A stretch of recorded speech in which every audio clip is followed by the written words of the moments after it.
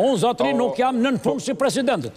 Po mirë më shikoj si të duhet shqipo, po pak të kini respekt në një opinion që adreson një publik që është kombëtar. Nëpunësi i presidentit nuk mund të hyjë, nëpunësi i presidentit nuk mund të hyjë në debat me mua. Ashtu? Jo. Po unë do të hyj në debat me atë që është e drejtë, po me mua nuk hyn, hy me kë të duash. Je nëpunës zotëri, je nëpunës rrogëtar. Nuk mund të lejoj të fyesh presidentin e Republikës së Shqipërisë. Nuk është fyerje analiza psikike.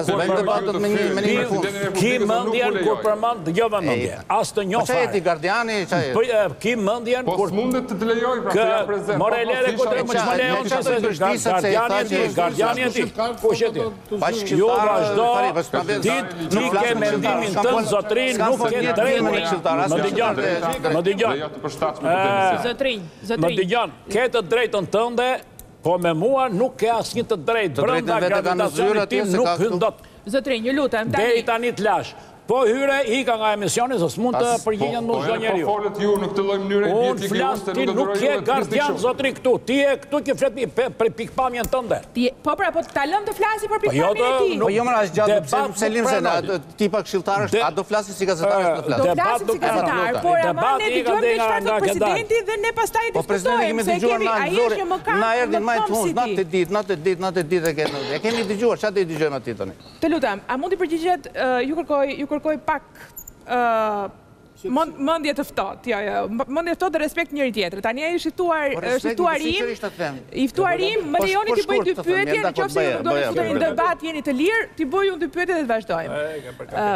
Të lutem, atëherë, pyetja e parë, prandaj të thashë të kapërcejmë të ecim përpara se e di çfarë ndodh në të tilla raste. Jam dakord për, patjetër, për etikën. Atëherë, zoti Dervishaj, Me dy fjali jua kërkova që ta kuptojë çdo njeri, përpos atyre letrave të gjata që ju lexoni çdo herë dhe që janë sqaruese mjaftueshëm. Por si do ia shpjegoni dikujt që nuk i ka ndjekur dhe që do ta dijë shumë shkurt dhe thjesht cila është ankesa e Presidentit? Presidenti i Republikës ka qenë shumë i qartë, edhe i përmbledhur, edhe i kuptueshëm për gjithë shqiptarët. Nga ju tani, po, të lutem. Maxhoranca nëpërmjet lëvizjeve të saj siç u provua edhe sot ka tentuar që të ketë shumicën dërmuese në Gjykatën Kushtetuese për të prishur balancën e saj dhe këtë e tregoi edhe sot prova e re e nxjerrë e cila Ministria e Drejtësisë kishte ndërhyrë për të botuar në fletoren zyrtare një akt të Këshillit të Emërimeve në Drejtësi që është i pabotueshëm me qëllim shtrembërimin e opinionit publik, dezinformimin e tij, duke bërë të mundur të kuptohet në publik që mekanizmi zhbllokues paska funksionuar, dikush është marrë dhe e ka shpallur fitues kandidatin e parë dhe në këtë mënyrë do të bëhej e mundur që në seancë plenare dy ditë më pas, të votoheshin nga Kuvendi i Shqipërisë vetëm dy kandidaturat e tjera që konkurronin në vakancat e tyre dhe një të tretë që pretendonin se po e merrnin dhe po e zgjidhnin në mënyrë automatike. Pra ju akuzoni qeverinë, atëherë ju akuzoni qeverinë që me anë të makinacioneve të ndryshme, sa i takon renditjeve,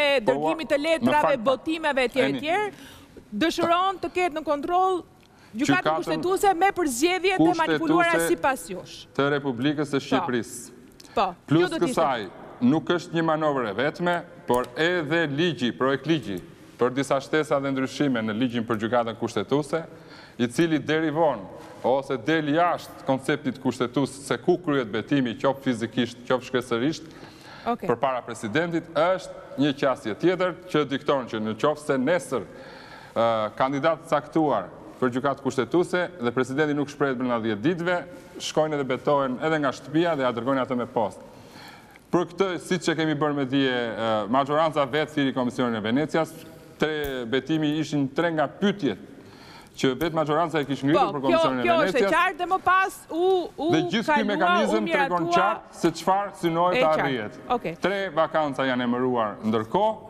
Presin të emërohen dhe gjashtë të tjera, kështu që është e qartë synimi.